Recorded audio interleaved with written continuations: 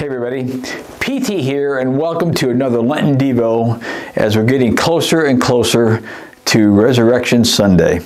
My wife Kathy and I have three married daughters and I will say that it's been a real adventure being the parents of the bride. Fortunately for me, when it came to the wedding, Kathy and the girls did most of the work. Because we didn't know everyone that our new sons-in-law knew, there were people at the actual event, obviously, that we didn't know. And I remember looking around during the wedding receptions thinking about all the people that I'm paying for a meal for that I don't even know. Interestingly enough, some years later, I officiated a wedding and found out that the weeks following the wedding, someone actually crashed the reception. Imagine going to a private event without being invited.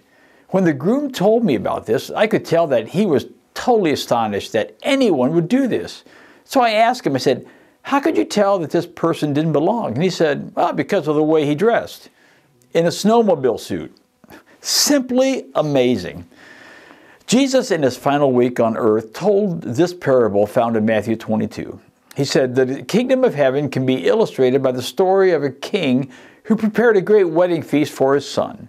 When the banquet was ready, he sent his servants to notify those who were invited, but they all refused to come. So he sent out another servant to tell them, The feast has been prepared. The bull and the fatted cattle have been killed, and everything is ready. Come to the banquet. But the guests he had invited ignored them and went their own way, one to his farm, another to his business. Others seized his messengers and insulted them and killed them. The king was furious, and he set out his army to destroy the murderers and burn their town. And he said to his servants, The wedding feast is ready, and the guests I invited aren't worthy of the honor. Now go out to the street corners and invite everyone you see. So the servants brought in everyone they could find, good and bad alike. And the banquet hall was filled with guests. But when the king came in to meet the guests, he noticed a man who wasn't wearing the proper clothes for a wedding. Friend, he asked, how is it that you're here without wedding clothes? But the man had no reply. Then the king said to his aides, Bind his hands and feet and throw him into the outer darkness, where there will be weeping and gnashing of teeth. For many are called, but few are chosen. Wow!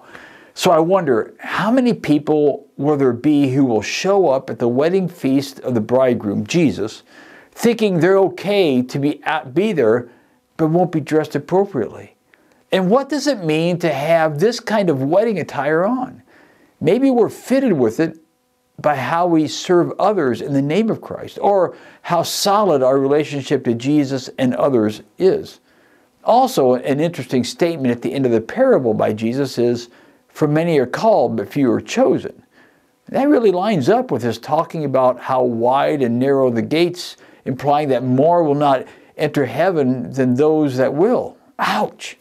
So, as we're in the week of Easter, I want to encourage you to take a moment, check your wardrobe. Do you have the right attire to attend the wedding feast of the Lamb? Or do you find that you have nothing suitable to wear? If not, then why not take this moment and ask the King for some help in finding the correct attire. Ask Jesus how you can grow your relationship with Him so that you can have a seat at the table. That's what I have for you today, and that means it's Pastor out.